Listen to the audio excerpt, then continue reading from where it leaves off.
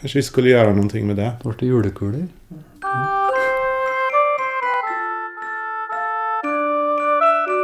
Jeg fikk jo den ideen at man kunne kanskje bruke veldig traditionella mønster på de kulene. Da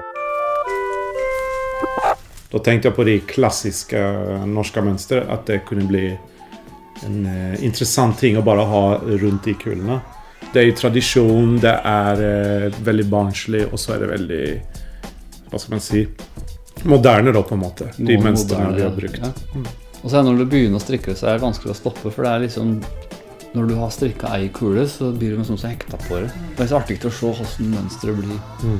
Du kan strikke et par-tre kuler på en dag hvis du Ja, hvis man er god som du. Da. innimellom andre ting. Alle kuler i boka er strikket av Arne og stappet av meg.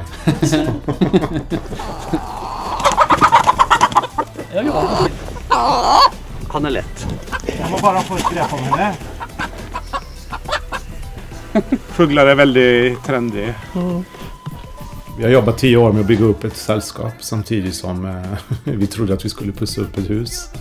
Så det ble til å bygge et selskap, og huset har fått stå. Men huset og denne plassen har på en måte blitt viktig også i lanseringa av kolleksjonene vi har gjort. Så når vi har solgt kolleksjonen, så har vi på en måte solgt en livsstil.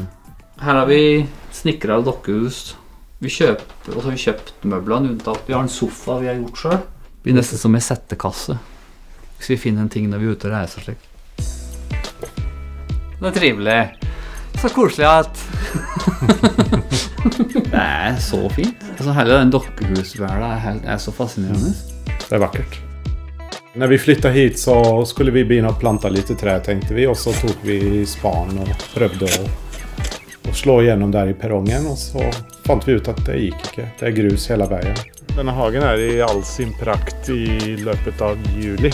Da er det helt fantastisk. Ja, denne her, her eksempel, er jo nesten to meter høy. Ja. Så det vokser noe voldsomt. Det blir Alle jungel bed er grønne og fulle av blomster. Kanskje vi må dele denne, så det blir en større rabatt. Men vi er ikke akkurat kjent for å gi oss på de små prosjektene heller. Altså det er, jo større jo vanskeligere, jo mer umulig, jo bedre. Å, så fin. De hønene her, ja, nei, de har det så fint så det er som å bo på Hotell Ritz.